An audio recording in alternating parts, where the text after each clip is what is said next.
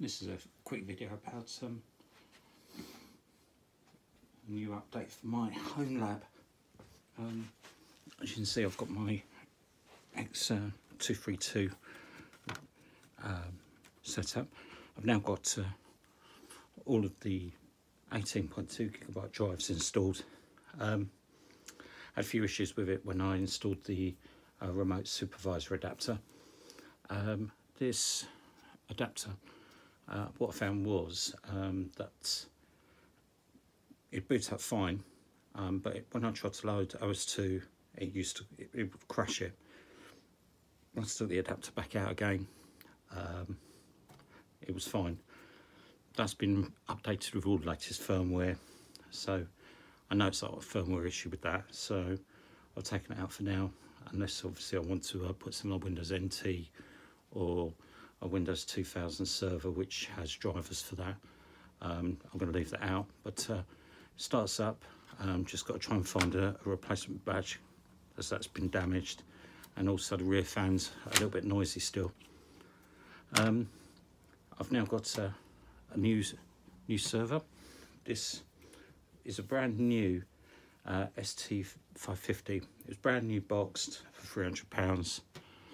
Um, it's running a first gen um, Xeon Silver CPU uh, 4110. Um, what I've done is um, I've got uh, a couple of 250 gigabytes um, SSDs uh, running running basically uh, 12.12 gigabits per second on there and I've also got uh, uh, four uh, 600 gigabytes, uh, 12 gigabits um, Rust hard drive, so uh, not quite so fast, but not bad for storage. I don't use an awful lot of storage to be fair, so it should be uh, okay for that.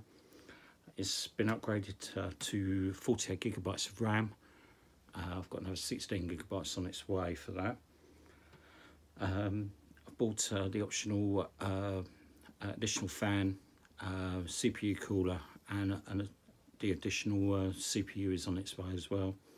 So um, I'm hoping to end up getting this running uh, dual CPU. It's also got um, a VFA 5.2 uh, 10 gigabit 10 gigabit hard drive, sorry, 10 gigabit um, SFP plus um, network adapter installed in it. So I've got it running 10 gig on the network as well. So um, I'm looking to try and uh, develop it a little bit more. So I'm hoping to have the um, mirror enablement card for it, if I can find someone selling them cheap enough. So it'd be booting up on a on 128 gigabytes um, dual SSD uh, running uh, RAID 1. That's my plan anyway. So, so yeah, so that's the uh, updates on, on these so far. But yeah, nice little machine. It's quiet, but not overly quiet. Um, sort of in, in a setup where I'd like to try and run it in a living room every so often. Um, it's it's not really obtrusively noisy, but uh, it's not exactly the world's quietest either. But uh, yeah, that's um, that's the update so far. Thanks for watching.